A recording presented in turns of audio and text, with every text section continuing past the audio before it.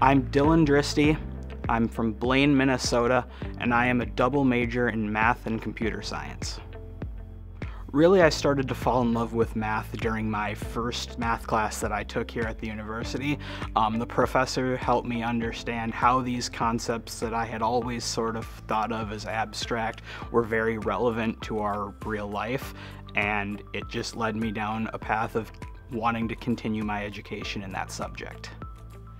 For me, adding a second major was pretty easy to do there's a lot of carryover between classes. There's a lot of similar concepts in the earlier classes.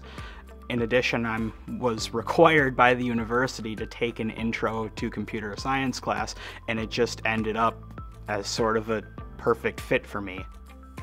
So, my mathematics specialization is in actuarial science, it heavily involves things like probability, statistics, and stochastic modeling um, to try and develop predictive models for insurance and products.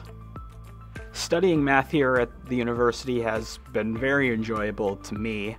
The professors have been extremely helpful in talking with me and allowing me to ask questions and anything I'm uncertain about or to get extra help or even on ways to take their topics and apply them to other things I've been learning. Um, they have really made me feel like I belong in this major and it's the one for me.